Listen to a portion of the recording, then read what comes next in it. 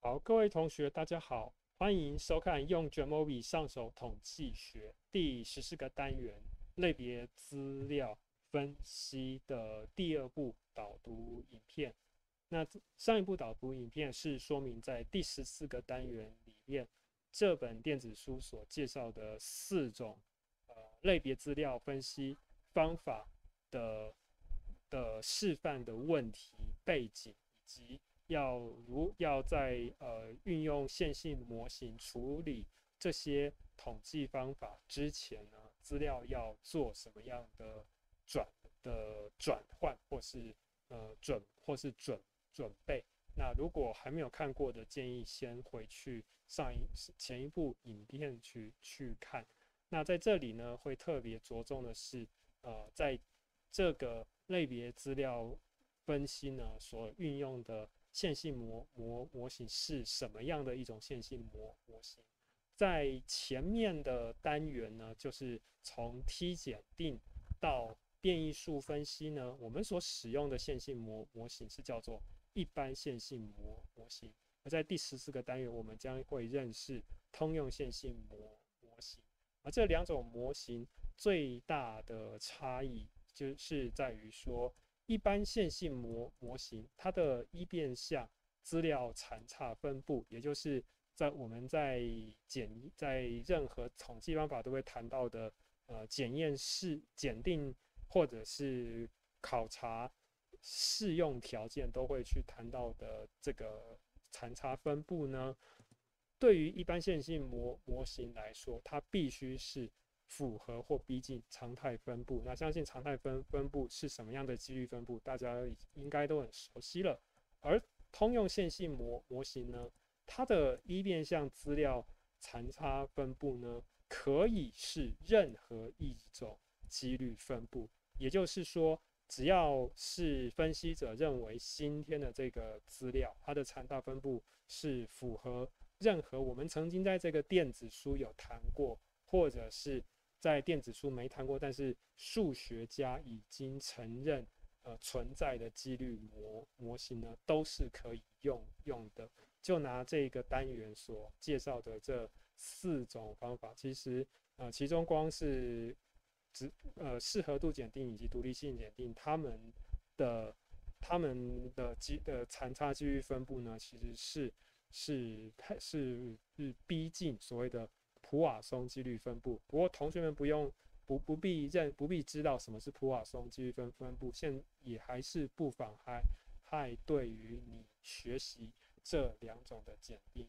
的方的方法。好，那建议同同学呢，呃，你们可以直接从现在从现在这个电子书的这几个连接先下载下下来，那么就可以开启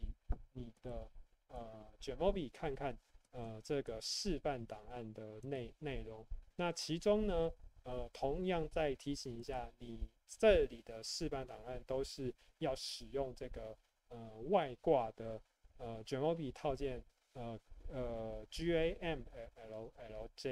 啊，才能够用通用线性模模模模型去使用它。那另外呃值得一提的是呢，在呃如果你的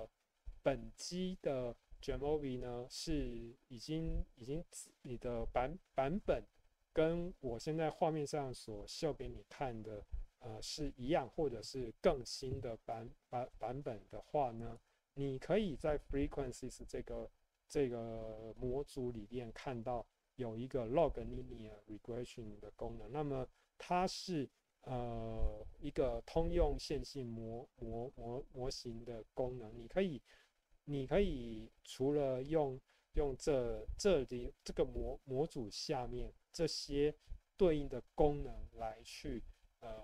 做一来来去进行练习之外，你也可以增加用这个方用这个方式来比较看看怎么样呃它的它的分析方法会跟会跟这个。这会跟会跟这会跟这个模模这个模模组的分析结结果，还有 frequencies 上面的这几种呃检定功能有什么样的不不同？那另外呢，在 regression 这个模组之下，它的它有几个 logistic regression 的这个功能。那这几种是一般线性模模模型的功能。如果你你这你自你对于呃你找你知道了这个通用线性模模型跟这个比较是呃城市化的类别资料分析功能的一些。一些相同跟相异的地地地方之后呢，你自己可以再去使用这个 log linear regression，或者是啊这个 regression 的，或者是 logistic regression 的这样的一个功能来去测测试。好，那在类别资料分析的这四个呃中文化特质的示范档案呢，我都是已经先放置了啊，这用用。运运用运用这个模模组所制作的一个初步的范范例，那这个答案可能会跟电这里会会现在这种类就以适合度检定看到的这一个卡方值，你应该会注意到会跟电子书上的会有些不一样的地方。那会有什么不？那么到到那么究竟这是什什什什这是什么样的不？是什么样的一个一个一个？检定的结结果，那为什么跟这个卡方检定是不大相相同的？那这个是让同同是这个同在这样的一个线性模型教教程需要同学去认识的一个重重点。只要你能够掌握了这四种方法的呃运用。通用线性模模通运用通用线性模模型，或者是或者是使用一般线性模模模型去做出来的结做做出来的方方式有什么样不不不同的话，那么这不止你可以